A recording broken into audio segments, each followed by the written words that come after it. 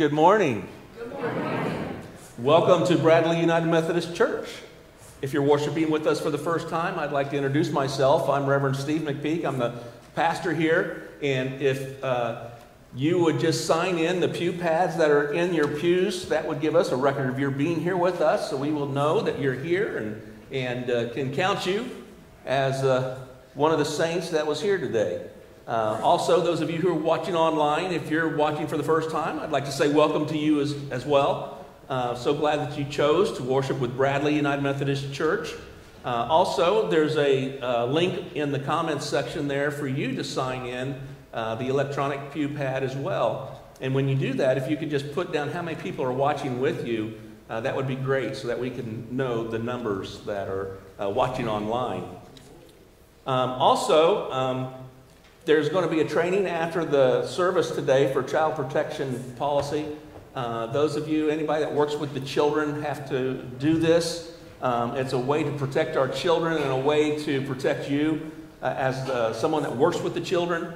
And so we will do that training after the service in the uh, parlor just across the hall over here.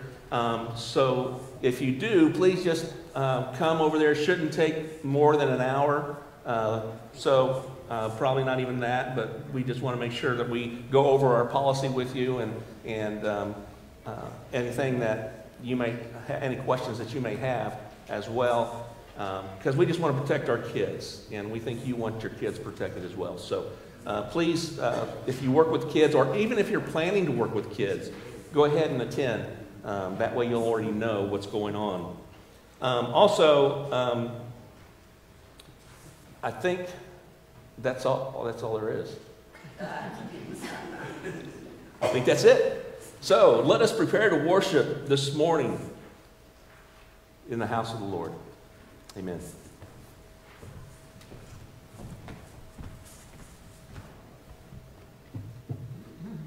After the resurrection of Jesus Christ, the whole group of those who believed were of one heart and soul.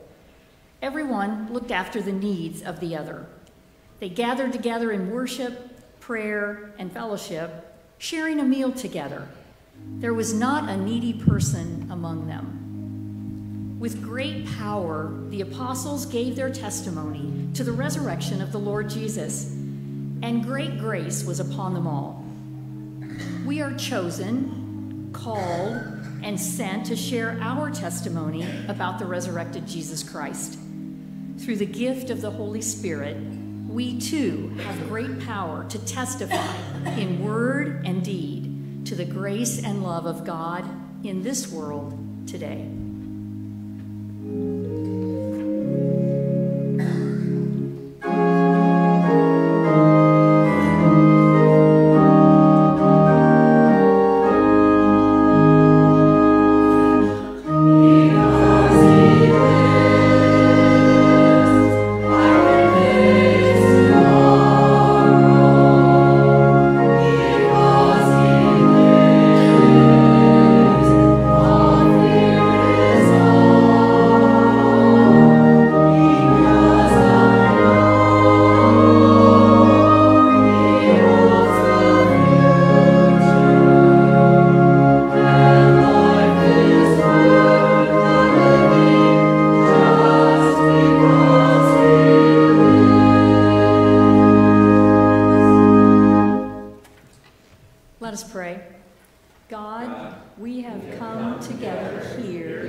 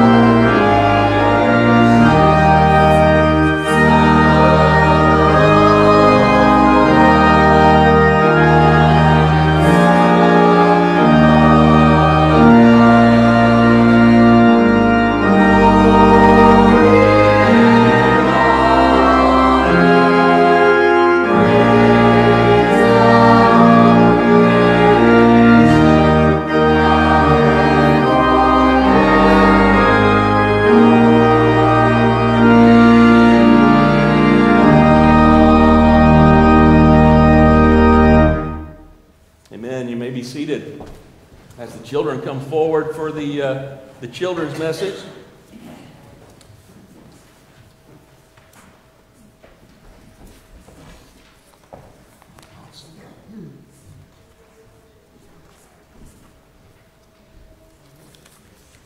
How you doing, Quentin? Good. Is Lucille coming? Yeah.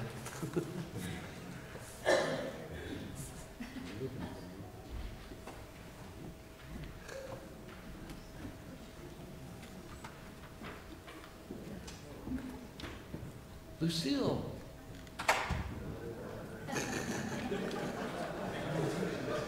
She's not going to let go mommy.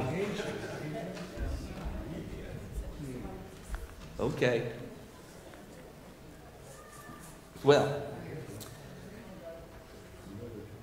are they coming? Okay. So you're not going to be up here by yourself.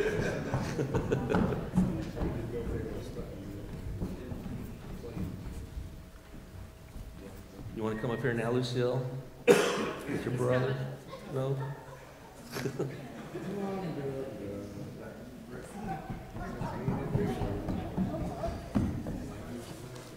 There. Camera brighter.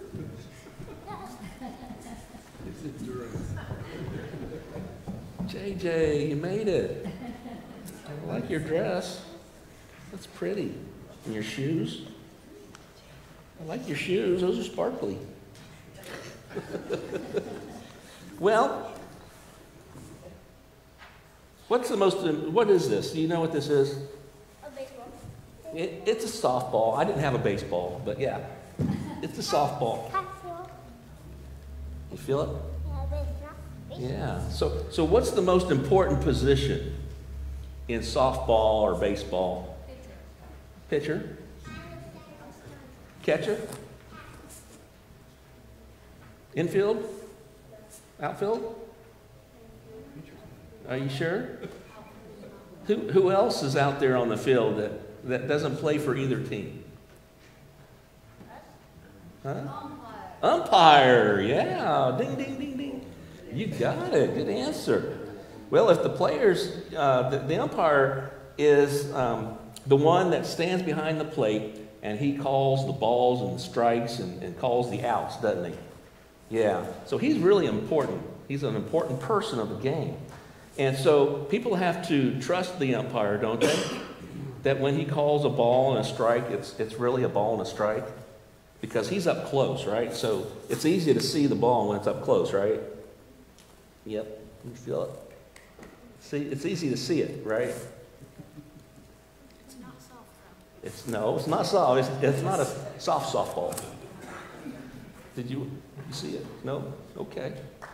Um, so anyway, this is um, hard to see when you're out in the outfield, I'll tell you, to see if it's really a ball or a strike. But the umpire is right there. He's right behind the plate, and he can see really good because he's really close to all the action.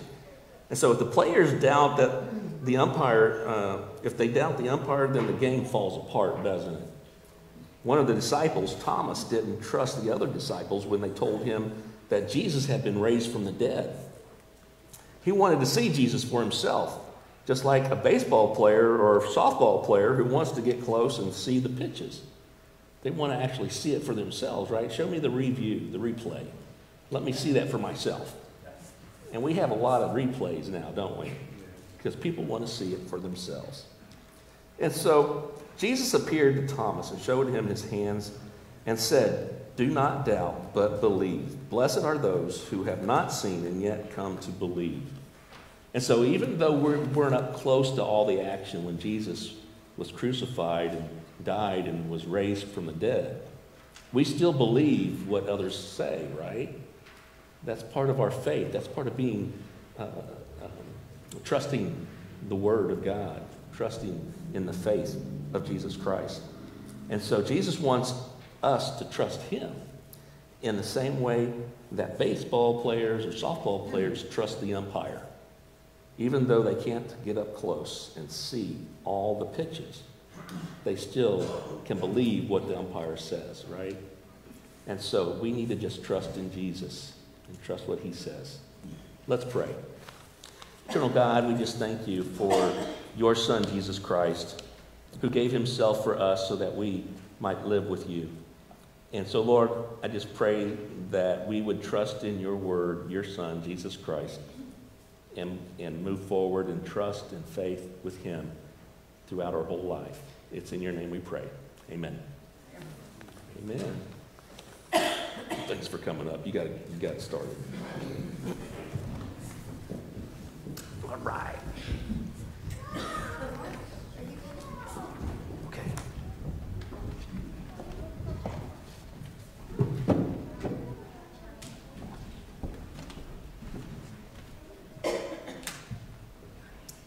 Please stand as you are able and comfortable for the scripture reading.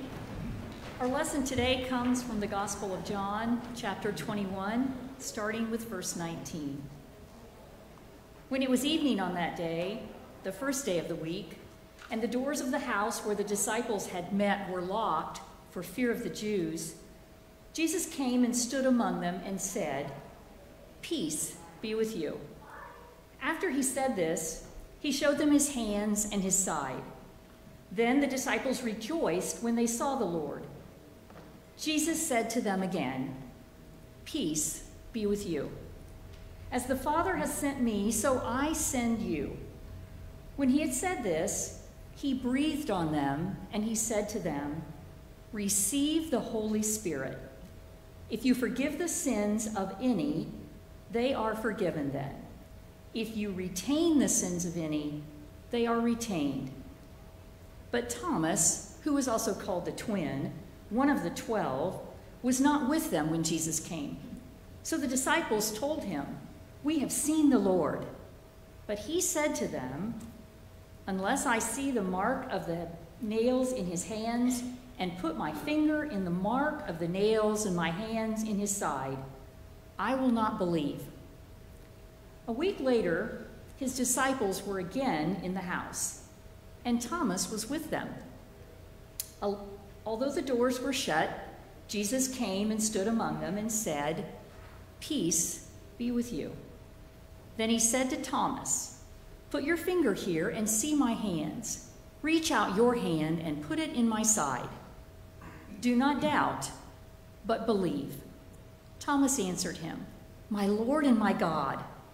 Jesus said to him, Have you believed because you have seen me?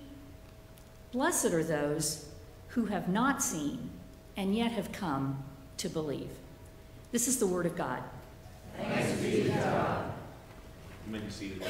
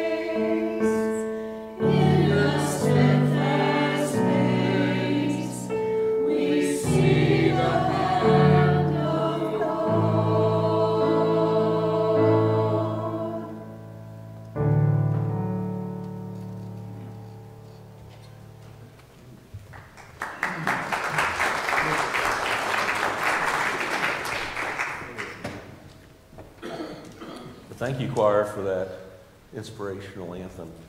Appreciate it. Um, it's great to be here in the house of the Lord on this beautiful Sunday morning with the sun shining finally. Cold's not as cold as it's been. And we continue to just celebrate the resurrection of our Lord and Savior Jesus Christ during this Easter season. You know, the joy of Easter is just so great.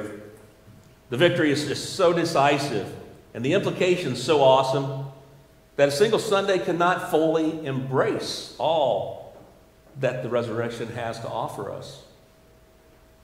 That's why Easter is not just one Sunday, but it's a seven Sundays. It's a, a week of weeks of Sundays where we celebrate the resurrection of our Lord and Savior Jesus Christ from the grave. It's so awesome. You know, the, the empty tomb is a, a monument to Jesus' victory. His tomb is empty, death is swallowed up in victory.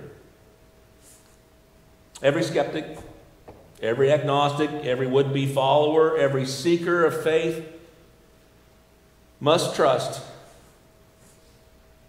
and confront the plain fact that the tomb was empty. When the women went to the tomb, it was empty. And so you can watch the replay of that all you want and check it out. Slow, slow it down, slow motion, like they do today. And you'll see that tomb is empty. The grave clothes are folded up, they're put on the, the place where they laid Jesus' body, but he's not there. Take away the resurrection of the body, and everything else is meaningless. Still, an empty tomb isn't the clincher, you know. It can be ignored, it can be explained away. And the disciples didn't believe the news at first either. They thought it was nonsense until they saw the risen Jesus Christ. And Thomas didn't believe it either. Show me a risen Jesus with nail marks in his hands and a spear mark in his side, and let me touch him, and then I'll believe. You know, and what about us who do not see, who cannot see? And yet we are called to believe that Jesus Christ is risen, and in whom we too will rise we have Jesus' words words of blessing from the one who was crucified and now lives. We have Jesus' words of blessing from the one who was crucified and now lives, words from him who conquered death by dying. Blessed are those who have not seen and yet believe. That's you and me that Jesus is talking about. We are those that were not there. We did not see it happen, but yet we still believe. We have been, the faith has been passed down from generation to generation. And we have come to faith in, in believing that Jesus Christ is the Son of God and that He has risen from the grave. He is not dead. Amen? Amen? That's why we're here, gathered together on this Sunday morning to celebrate, to worship, to testify to our faith. Jesus gives us another beatitude. He says, Blessed are you who have not seen me and yet that, uh, believe that I died and rose. Truly, we are blessed. We are blessed by his words.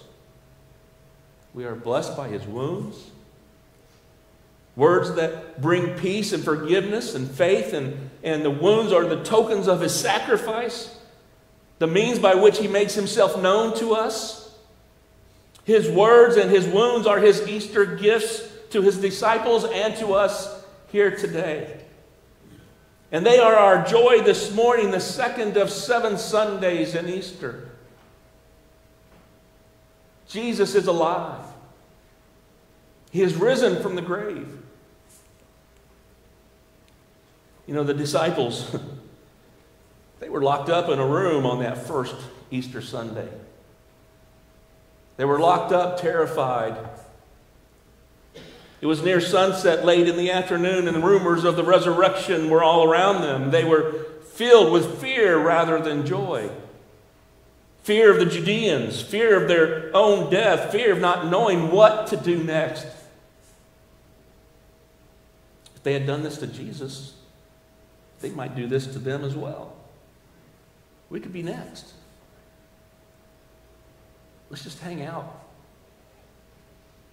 Play it safe for a little bit. So, into that prison house of fear, Jesus comes. He doesn't knock on the locked doors. He doesn't wait for someone to open the doors and invite him in. No, Jesus simply appears in their midst. He's been there all along. But now he makes his presence known. His first words deliver peace. He says, Peace be with you. And this isn't an idle peace that he's talking about. This is a real concrete peace spoken by the Prince of Peace. He shows them his wounds and the nail marks in his side, or uh, the nail marks in his hands and the scar of the spears in his side. And as Isaiah 35, uh, 53 5 reads, the punishment that brought us peace was on him, and by his wounds we are healed. Amen. I'm healed. I'm forgiven. I'm made whole. I'm claiming that. You guys, I believe it. And I hope you do too. His is a peace that the world cannot give. Peace with God, peace with one another. You know, the Hebrew word for peace is shalom, and uh, it means more than the absence of war and fighting. It, it means everything in its place. It means harmony, in harmony, and, and whole. It's like God is, when you say shalom, you mean there's harmony in the room. There's peace between you two. There's, there's harmony. There's no conflict. And whatever's broken is made whole. As Jesus says in John 14 27, peace I leave with you. My peace I give to you. Not as the world gives, do I give to you. Let not your hearts be troubled, neither let them be afraid. Wherever Jesus is, with his wounds and his words, there is peace aplenty. Sin is atoned for, death is conquered. Life comes overflowing. And peace, it's real peace. Jesus, the crucified and risen one, is our peace. His wounds, the marks are the marks of his death, and the death he endured in order to save you and me. Rejoice in those wounds. Recall the water and the blood that flowed from his sword pierced side. They are the sacraments of peace and life and salvation poured out for you and for me. They are for us there in the fount of the holy baptism, in the chalice of his supper, as real as the Jesus in the upper room on that first Easter evening. Jesus is present with us and he makes his presence known. I hope that you sense Jesus' presence with us, especially when we take and break the bread and drink the juice during the Lord's Supper. You know, real words, real wounds my body given for you, my blood shed for you. From a real and resurrected Jesus. Hmm. And real peace. The fear then gives way to joy in verse 20. The disciples were glad when they saw the Lord. And who wouldn't be? Who wouldn't be? Spend all that time with Jesus and then He's gone. You see him die, and now he's there with you. What joy! The Easter news is true. The Lord is risen. the, how great their joy must have been to see his wounds, to hear his words, to be filled with his peace. That's what Easter is all about. Hmm. Then again, Jesus says, Peace be with you. The first time was peace for themselves to quiet their fear, to turn their sorrow into gladness. This time it is peace for others to move their feet outside of that locked room and to go out into the world. Jesus tells them, As the Father sent me, so I am sending you. Did you know that you are sent? Not just the apostles, that first Easter. they were just the first. You are sent. You are sent. And so Jesus tells him, As the Father sent me, so I am sending you. Jesus was the apostle of the Father, sent by his Father. To receive Jesus was to receive the Father who sent him. And to reject Jesus was to reject the Father. Now Jesus sends his apostles to speak his peace in his stead and by his command. He breathes his breath on them and speaks his words into them. His words are spirit and deliver what they say. Receive the Holy Spirit. And they received the Holy Spirit. Without the Holy Spirit, the disciples couldn't do what Jesus was sending them to do. Without the Holy Spirit, we can't do what Jesus is sending us into the world to do. It's too difficult. There's too many things that attack us, too many obstacles to overcome. And so Jesus breathes on them the Holy Spirit. If you forgive the sins of any, they are forgiven. If you retain the sins of any, they are retained. This is their ordination, their sending with authority. With his breath and his words, Jesus authorizes them to do what God alone can do forgive and not forgive sin. So, who are they? Mere men, sinners at best. Well, don't look at who they are. Look at the one who sends them. Look at the one who breathed upon them and sent them out, who gives him his word and spirit. Jesus sends them with his own authority, the authority which the Father had sent him. The word apostle means one who is sent with the authority of another. And Jesus binds his mouth to their mouth, his words to their words, his breath to their breath, and his spirit to their spirit. Their forgiveness was his forgiveness. And what about us here today? The apostles who were in the upper room that day now rest in Jesus. Did the forgiveness that they were given to speak, did it die with them?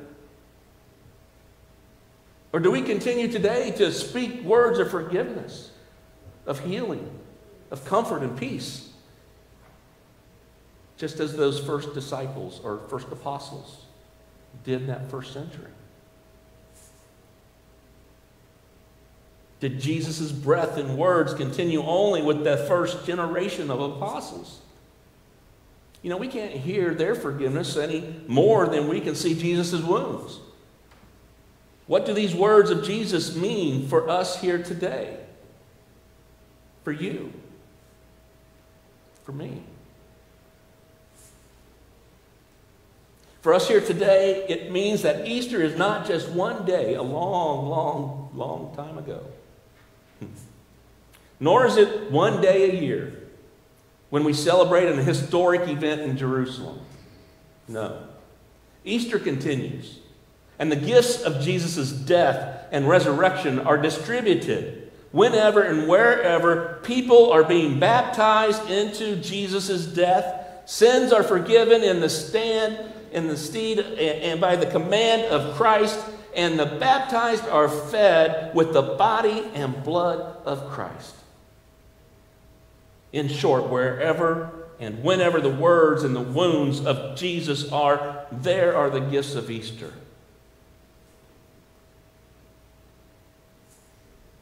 Jesus Christ is risen from the dead. He is alive. He's not dead. He is present. He is not absent. And in the power of his resurrection, he is present with us in the fullness of his divinity and his humanity. Locked doors could not keep him out, nothing can. Hallelujah. Hallelujah. Try locking your doors and see if Jesus don't get to you anyway. uh, try him. Go hide in your house. Lock the doors. See what happens. It's not going to stop Jesus. Nothing can stop him. He is present among us as surely and as fully as he was with the disciples in that locked upper room on that very first Easter evening. He is here with us to free us from our fears, to speak his peace into our hearts, to forgive our sins, to turn our sorrow into gladness, to bless us. Thank you, Jesus. Blessed are you. You have not seen him, but you believe in him. You have not seen him, but you have been born and bathed in his baptism. You have heard his forgiveness, and you will taste his supper. What a promise. Many of you believe that promise this morning? Don't be shy. Don't be shy. I hope you believe it because there's power in that. There's power in proclaiming that, accepting that. Gives you power to speak up, to go out and to speak about Jesus Christ. His words, his wounds, his ministry, the gifts of Easter come uh, from Christ to his church and to you who is the church. We are the church. This building is just a building. We are the church. Amen? We are the church. And his gifts and his words, his, his wounds are given to us. And he sends us out into the world to proclaim the resurrection of the Messiah, the Son of God, Jesus the Christ. Don't be afraid. Let Jesus' peace be upon you as it fell upon those first disciples in that first evening of that first Easter day. And be blessed. In the name of the Father, and of the Son, and of the Holy Spirit. Amen. We'll go to the Lord in prayer this morning as well. And I have some prayer concerns that I'd like to share with you that we need to lift up. And one is we want to continue to pray for Mike and his family. Um, we want to pray for Kevin Davis. I just heard this morning Kevin Davis, uh, uh, Dean Keith Davis's son, um, had a heart attack and um, is in the hospital and should be getting out today. And also Nancy Faith, Joe's wife. Uh, please keep her in your prayers. Joe had to leave this morning. He got a call from her that she was having chest pain and was calling an ambulance. So uh, please keep uh, Nancy in your, your prayers as well, and Joe in your prayers. Um, are there any others that you would like to lift up this morning that we need to be praying for?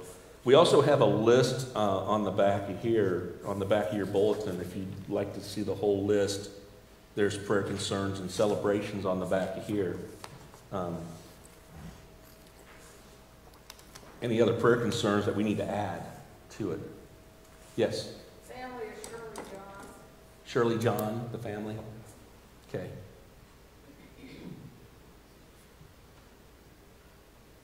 Yes.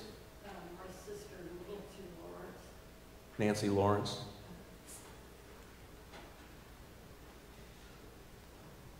Okay. Any others?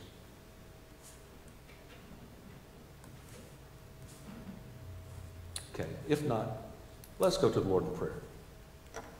Eternal and gracious God, we just give you thanks and praise for the resurrection of your Son, Jesus Christ, whom we believe in.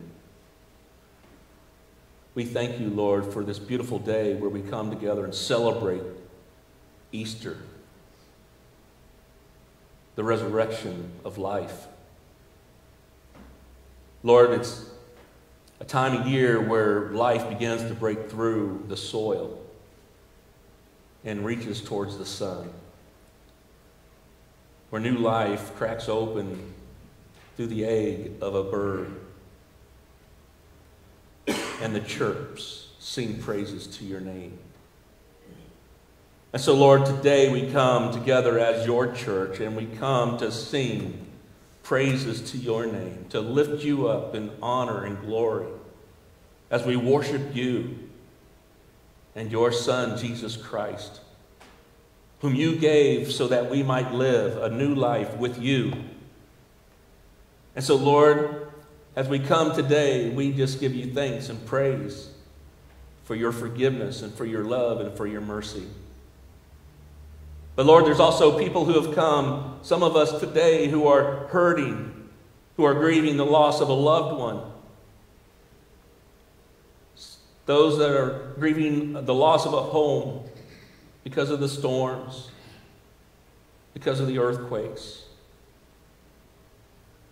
grieving the loss of a business, the loss of a relationship. And so, Lord, we just pray that you would comfort them during this time of grief in their life.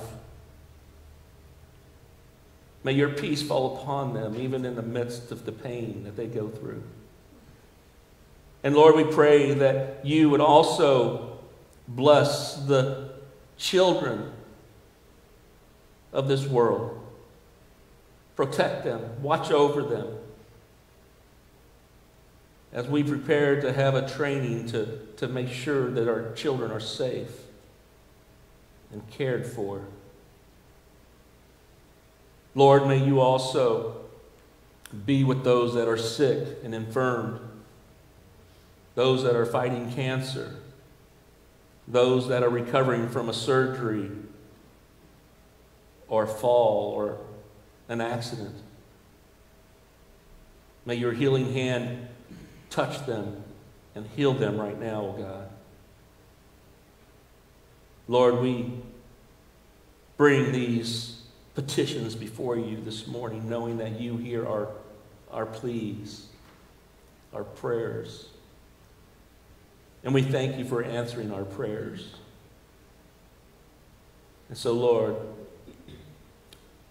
we also pray that you would take away the hatred within men and women's hearts that would cause them to harm one another. We pray, Lord, that you would change people's hearts so they would not want to shoot and kill somebody. That they would want to instead talk to understand one another, to help one another, encourage one another, instead of harm one another. And so, Lord, we just give you thanks and praise again for hearing our prayers. Amen. We'll now continue to worship through the giving of God's tithe and our offering as the ushers prepare to come forward at this time. And also, I'd like to invite those of you who are watching online, if you also would like to participate in this part of the service, there's a link that you can click on in the comments uh, section there, and it will take you to the giving page of our website where you too can, if you wish, so wish, to support the ministries of Bradley United Methodist Church, um, give your tithe and offering there as well. And so, as the ushers come forward, let us prepare to take up the offering.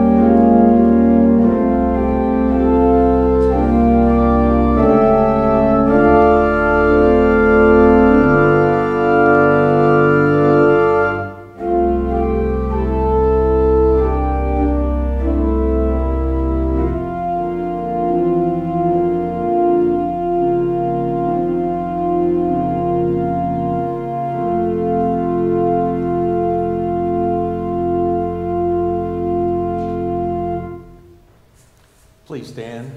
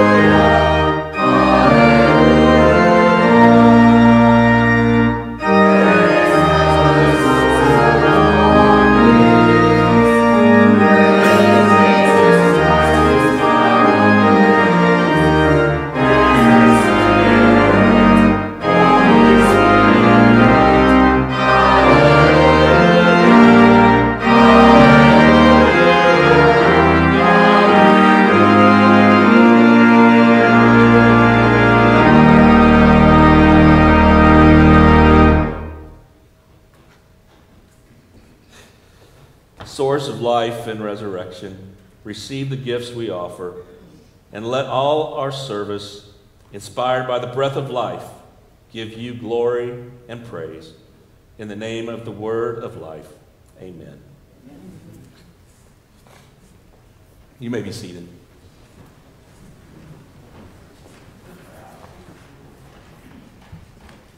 God is with you. And also with you. Lift up your heart. We lift them up to God. Let us give thanks to the Holy One, our God. It is good and beautiful to give God our praises. God, in love, you create us. In love, you claim us. In love, you promise to be with us always, and you are. When we wander, you follow. When we are stuck, you set us free. You judge the forces of oppression and lead us toward justice, toward a new Jerusalem in which everyone is beloved. As a sign of that hope, you invite us to your table.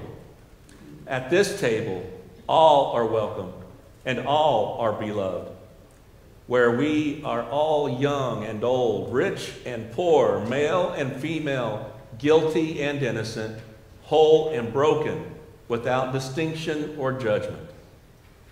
Therefore, with all creation, we praise you with love and delight. Holy, holy, holy Lord, God of power and might, heaven and earth are full of your glory. Hosanna in the highest. Blessed is he one who comes in the name of the Lord. Hosanna in the highest. Blessed are you or blessed are all who come in your name. And blessed is Jesus, your Christ, who loved us as you love us. In love, he taught and healed. He gathered the outcast. He loved the unlovely. In love, he established a new realm. He built a new city. In love, even in death, he gave up his spirit so we might love. As he did at the table and so many other times, Jesus did again on the seashore. He took the bread, he blessed it, he gave it to his disciples, and he said, We feast. Look, that's yours.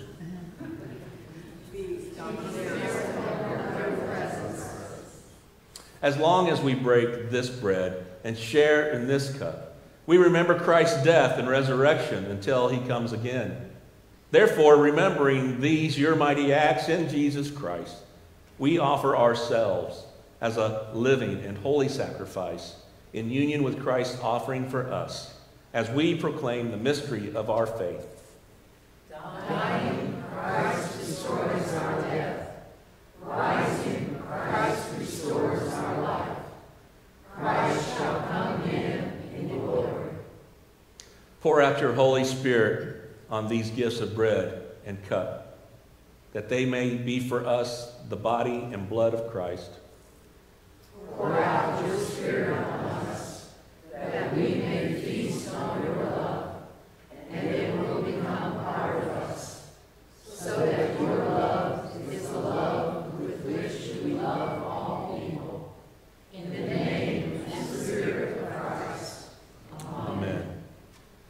On the night in which he gave himself up for us, Jesus took bread.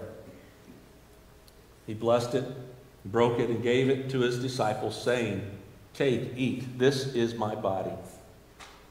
In the same way, after the supper was over, he took, took the cup. He gave thanks. He blessed it and gave thanks and gave it to them, saying, Drink of this, all of you. This is my body poured out for you and for many for in a new covenant, which is the forgiveness of sin. And now, with the confidence of the beloved of God, let us pray together. Who art in heaven, hallowed be thy name. Thy kingdom come, thy will be done, on earth as it is in heaven. Give us this day our daily bread, and forgive us our trespasses, as we forgive those who trespass against us. And lead us not into temptation, but deliver us from evil.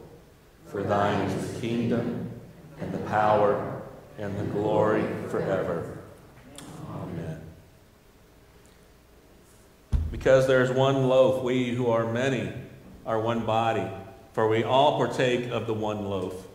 Bread in which we break is a sharing in the body of Christ. And the cup over which we give thanks is a sharing in the blood of Christ. Here at Bradley United Methodist Church, we have open communion, which means everybody is invited to come and participate and receive the elements, the bread and, and juice, if you would like to participate, if you love Christ and want to come to the table and feast, you are invited to come. And so we're going to ask that um, the ushers come forward, but we're going to start with the front of the church, have you come up down the center aisle and back to your seats through these other two aisles here, and just have everybody come down the center aisle and exit and go back to your seats through the outer aisles here. And so, will the ushers come forward at this time, those that are going to help serve communion?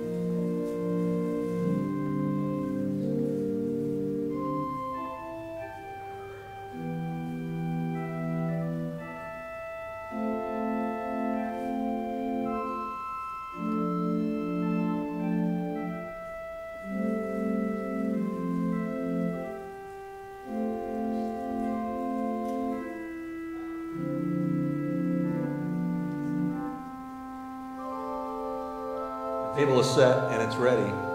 For those of you who are ready to come forward at this time, you're invited to come.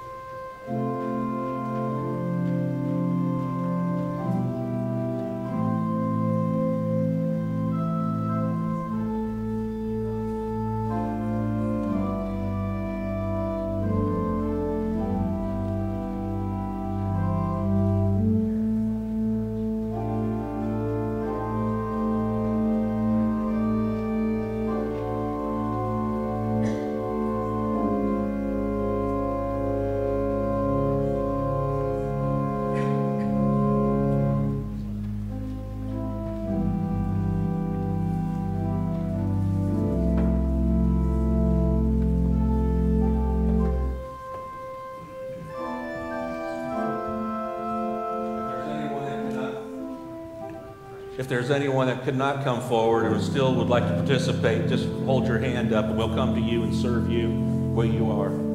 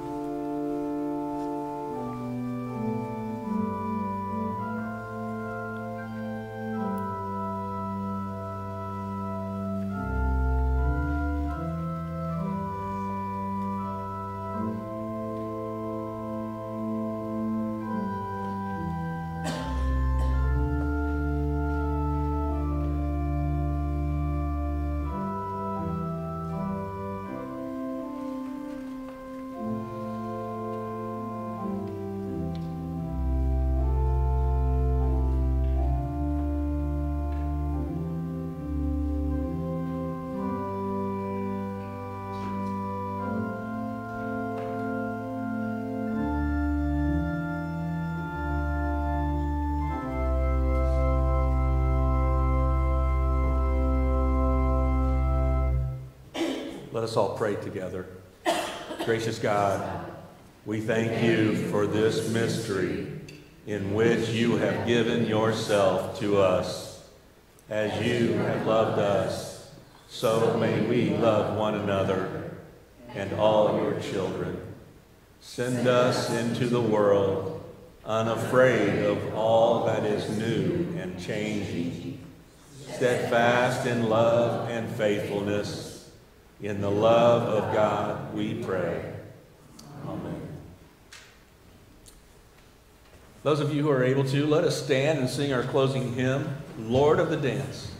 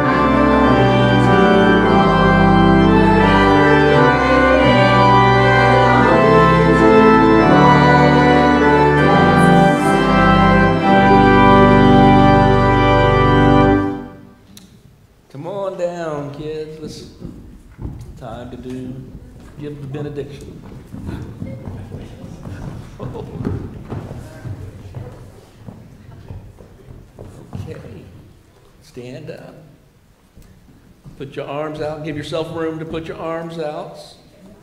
Okay. Repeat after me. Beloveds in Christ. Beloveds in Christ. Know there is peace with God. Know there is peace with God. Through Jesus Christ. Through Jesus Christ. Let it be so. Let it be so. All right, thank you.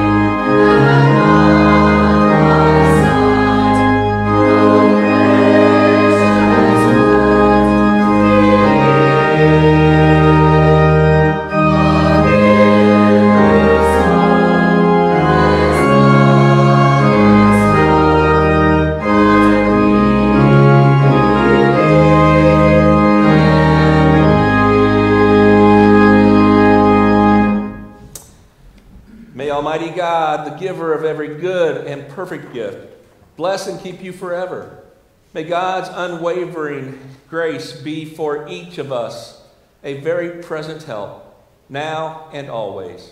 Amen.